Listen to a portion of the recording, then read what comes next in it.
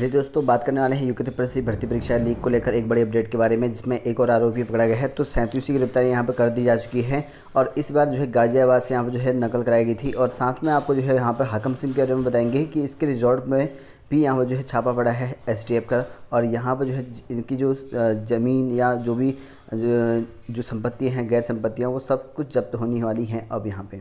तो देखिए दोस्तों, गाज़ियाबाद में यहाँ पर कराई गई नकल और एक गिरफ्तारी। तो यहाँ पर देखते हैं, गिरफ्तारी हो चुकी है। तो एस, यू के त्रिपरसी पेपर लीक मामले में यहाँ पर जो है, नया खुलासा हुआ है। देहरादून, उत्तरकाशी, धामपुर कुमाऊँ के अलावा जो यहाँ पर गाजियाबाद में भी यहाँ पर अभ्यर्थियों को पेपर लीक कर याद कराया गया था। तो याद कराया गया था उनको। और सूत्रों की माने तो एस ने यहाँ पर जो गाजियाबाद से एक आरोपी को गिरफ़्तार किया है और अपने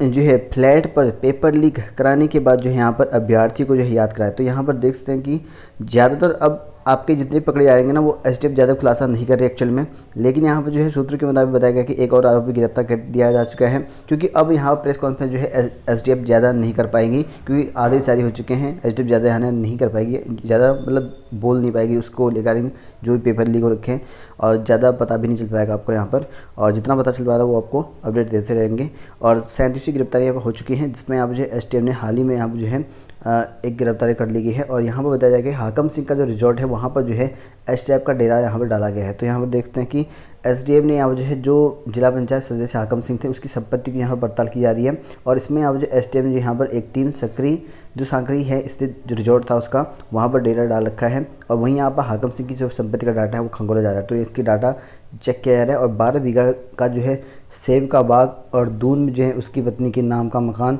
की जानकारी मिली है। तो यहाँ पर देखते हैं बारह बीघा